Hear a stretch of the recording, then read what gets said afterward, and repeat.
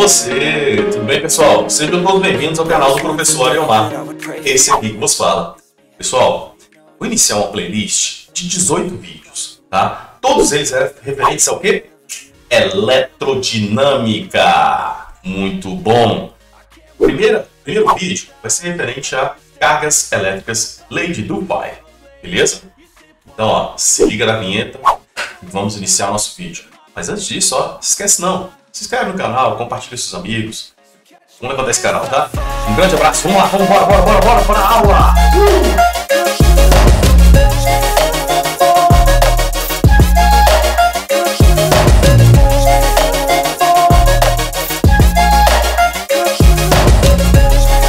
É isso aí, meu povo! Vamos, vamos, vamos, que hoje é dia de carga elétrica Leite do Pai. Beleza? Eu sou o professor Elmar. Tem aqui, ó, os QR Codes aqui ó, do, do, do Instagram, do meu YouTube. Se inscreve lá, vamos lá, vamos participar. Primeira coisa que eu tenho que falar a respeito de carga elétrica é o seguinte, a gente tem que pensar em um átomo, né? Se a gente pensa em um átomo, ele tem o quê? As cargas elementares. Prótons, elétrons e nêutrons. E eles ficam se movimentando de acordo com essa imagem maluca que você está vendo aqui em cima.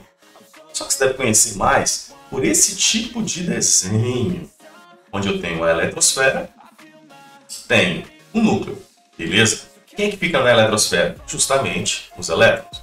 No núcleo eu tenho os prótons e nêutrons.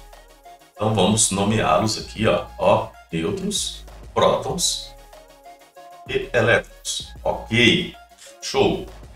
Bom, quando a gente fala de neutro, tem que lembrar que a carga elétrica dele é nula, ou seja, é zero. Já o próton, ele vai ter o valor da carga elementar, assim como o elétron. Mas qual é a diferença entre eles? A diferença vai ser o sinal. Observe, carga elementar, que é a letra E de elementar, ela tem um valor positivo quando é referente ao próton e negativo quando é referente ao elétron. E, de acordo com a lei de Dufay, esse cara fez um esqueminha muito legal. Olha só quanto tempo, hein, pessoal? Ele relacionou naquela época. Cargas de mesmo sinal se repelem, ou seja, positivo com positivo, negativo com negativo, também se repelem. Ou seja, cargas de sinais opostos se atraem, ou seja, positivo com negativo, aí atraiu. Bom, o princípio da conservação de carga é importante. O que significa isso?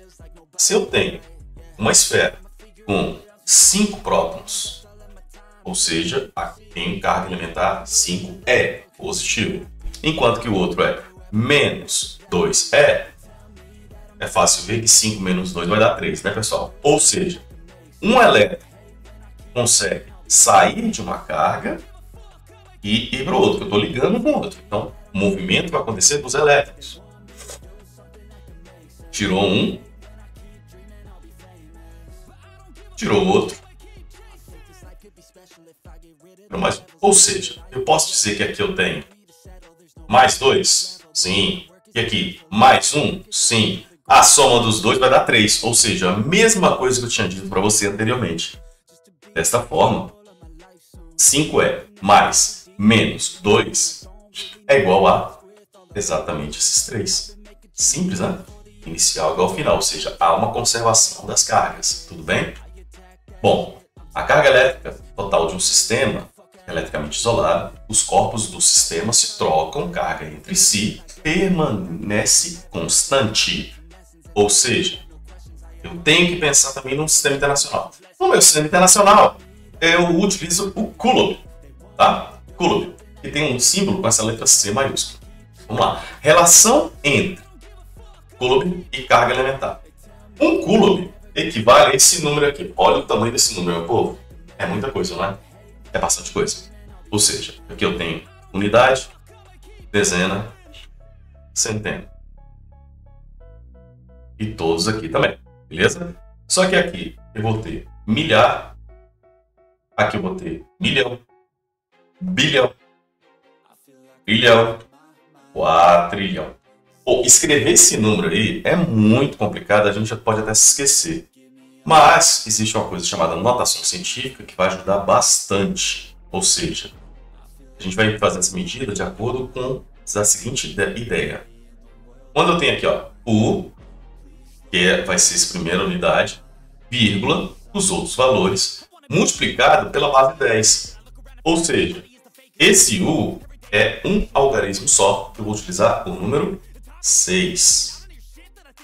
Enquanto que aqui eu vou pular, ó, pulei 3, 6, 9, 12, 15, 18 casas. Então, esse N equivale a 18 casas. Perfeito? 18 casas. 6,25, por que, que eu coloquei a vírgula? Pulei 18, ó, vírgula 25. Tudo bem? Show! Então, eu posso dizer que 1 coulomb equivale a 6,25 vezes 10 elevado a 18 carga elementar.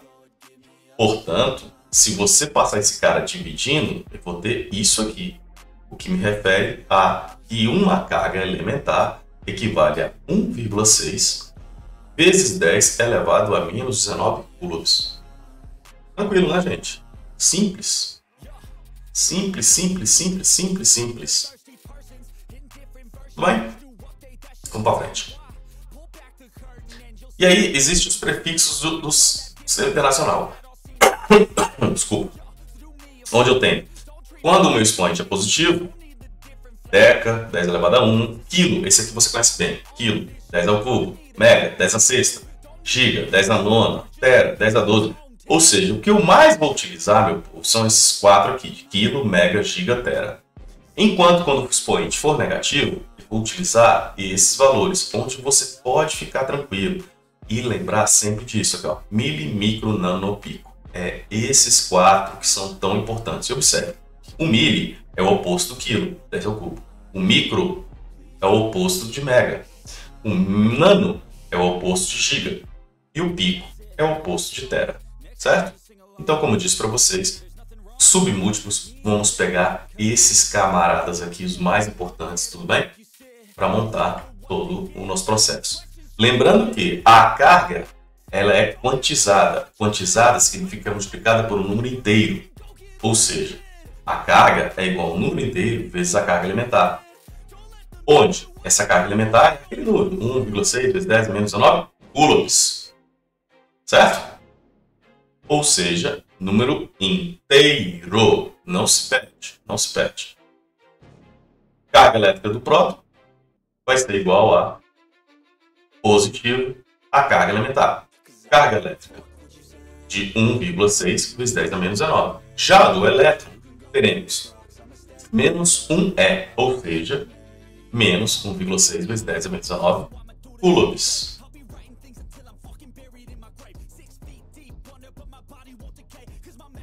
Então é isso aí, pessoal. Aula rápida, ligeira, bem tranquila.